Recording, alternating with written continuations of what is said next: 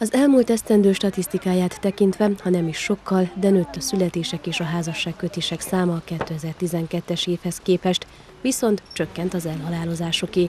A Székelyudvarhelyi Polgármesteri Hivatal lakosság nyilvántartó irodájának összesítése szerint 2013. január 1 -e és december 31-e között 176-an kötöttek házasságot, ez 6 párral több, mint 2012-ben, 474-en hunytak el, ami a tavaly előtti évhez képest 19 személlyel kevesebb.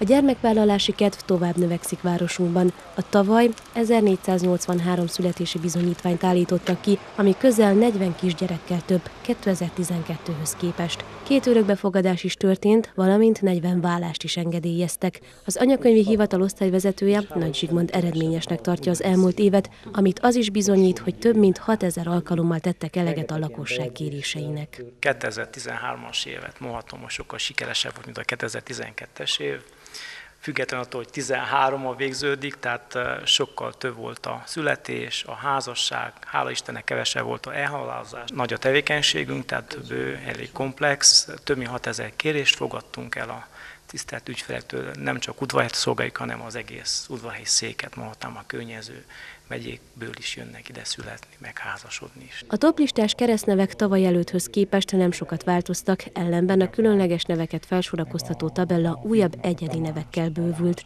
A legkedveltebb lánynév 2013-ban is az Ágnes volt, amit a Tímea, Eszter, Anna, Panna, Hanna, Bíborka, Andrea követ a sorban.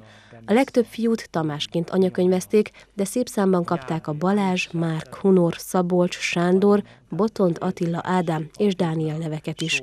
Továbbra is akadnak olyan szülők, akik igyekeznek egyedi, nem gyakori keresztnevet adni gyerekeiknek, így Rubina, Denissa, Lili, Rihanna, Édua, Jádé, Aisha és Adina azok a lánynevek, melyek a ritka nevek listáját bővítik. Az egyedi fiú nevek lajstroma a Solt, Józsué és a Mustafa keresztnevekkel gazdagodott.